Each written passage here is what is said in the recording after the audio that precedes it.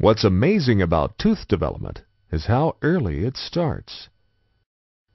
This embryo is only six weeks old, and yet the epithelium over its mandible is already thickening in preparation for what's about to happen. As it grows thicker, the epithelium creates an island of cells which is the origin of the new tooth. This is the dental lamina, and its remarkable potential is starting to unfold.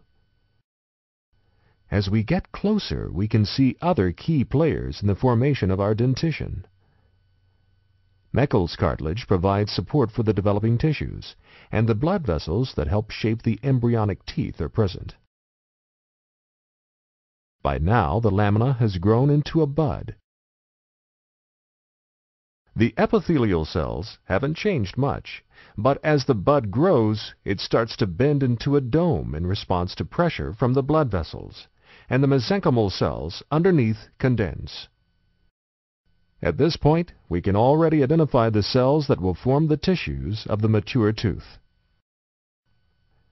The enamel organ is made of cells from the epithelial cap, and it will generate the enamel of the tooth. The condensed mesenchymal cells will form the dentin and the pulp, and they are called the dental papilla. The dental follicle will develop from the remaining condensed mesenchyme and all of these cells together are known as the tooth germ. So far, we've seen the bud and cap stage of tooth development. The third, and most dramatic, is the bell stage. As the tooth germ begins to grow, the cells differentiate. The stellate reticulum is now obvious. Made up of star-shaped cells pushed apart by fluid pressure, it separates the inner and outer enamel epithelium.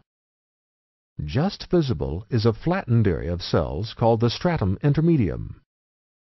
We can also see the juncture where the inner and outer enamel epithelium meet. This cervical loop is important in tooth formation, as we'll discover soon. By the time the tooth bud pinches off from the dental lamina at the end of the bell stage, the inner enamel epithelium has folded to form the shape of the future crown. With the scaffold to work on, the masons of the tooth world go to work. The cells of the inner epithelium have elongated into ameloblasts, and the neighboring cells in the dental papilla respond by changing into odontoblasts. Now they move toward the center of the papilla, leaving a thin tube of cytoplasm and a layer of dentin. And now, the ameloblasts start to move, leaving behind the hardest tissue of all, enamel. The resulting rock-hard crown of enamel and dentin is a miraculous feat of cellular engineering, but the engineers haven't finished yet. An extension of the cervical loop forms as a collar called Hertwig's epithelial root sheath that causes other odontoblasts to start forming the dentin of the root. At the same time, the whole tooth starts to move like a biological rocket taking off, and a perfectly formed deciduous incisor is delivered into the oral cavity. Its new owner, of course, is delighted.